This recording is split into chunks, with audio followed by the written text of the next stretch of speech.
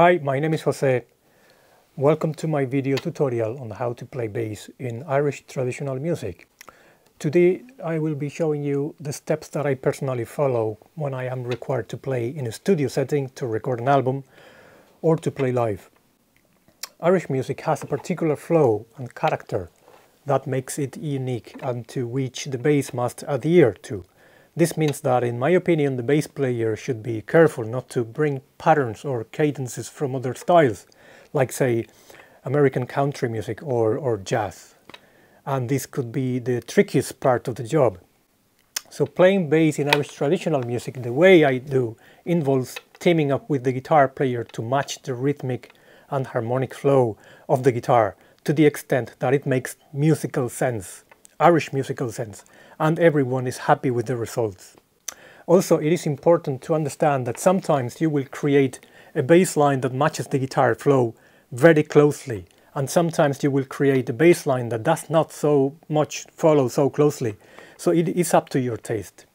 The examples that I am bringing you today follow this idea. I have built bass lines that match very closely the way the guitar flows, you will see.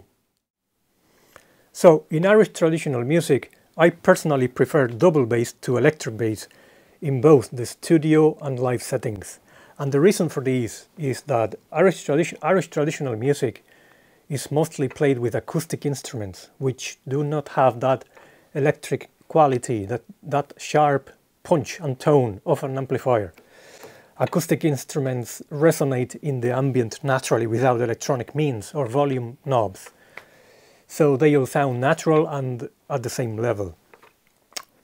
But there is good technology out there. In the case of recording in a studio, for example, you can use good microphones to pick up the natural acoustic, acoustic sound of the, of the double bass. Uh, in live settings, I recommend you use some of those mini condenser microphones that allow you to play without receiving feedback loop. They are a bit expensive, but worse because they pick up the natural resonance of the body of the instrument. So without further ado, let's start with the first example.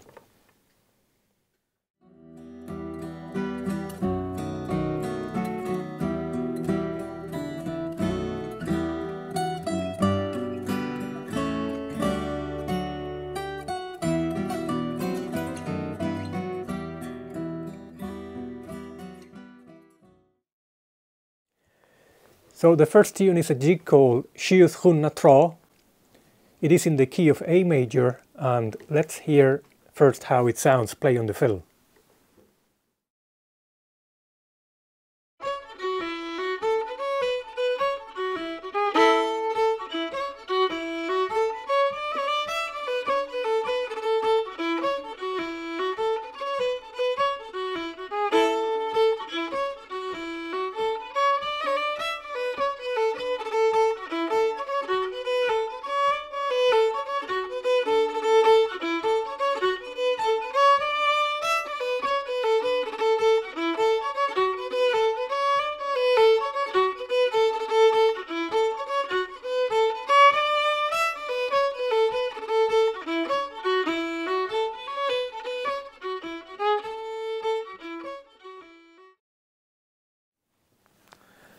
First, we have to understand that the chord sequence is created matching the implicit harmony that the notes of the tune suggests.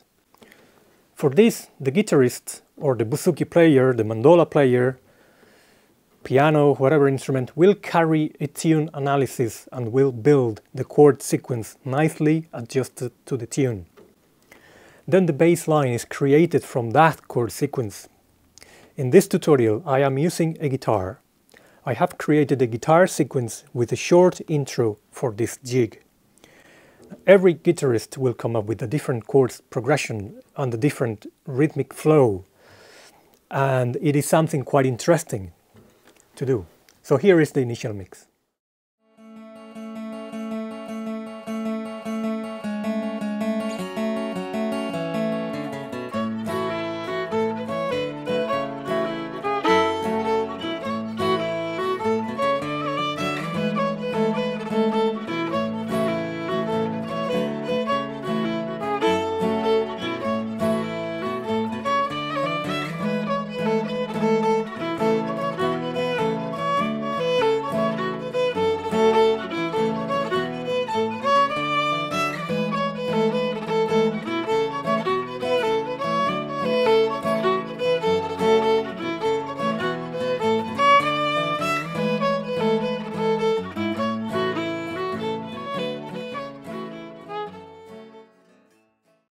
Now let's create the bass line. As I mentioned before, the bass line is created from the chord sequence that we just made on the guitar, or whichever other instrument was played.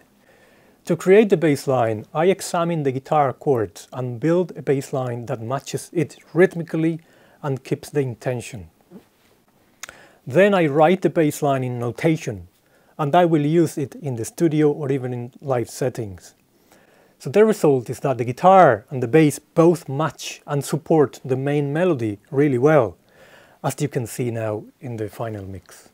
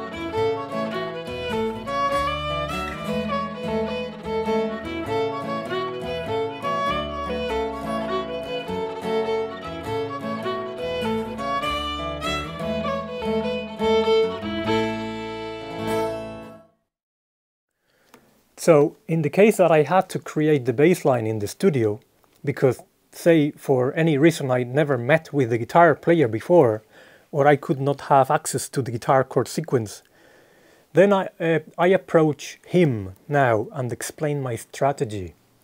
I always ask the guitarist to show me the chord sequence so I can write the bass. This of course will take some time depending on your skills. Remember to always have a few blank notation sheets in the bass case and the pencil. And remember that the ideal situation is that you, as the bass player, build the bass line from the fixed guitar sequence. This means that ideally the best option for you is to work with the fixed guitar track so you can let them record the guitar first and then you will take it from there as I will explain in my following tip. So now let's work on the second tune.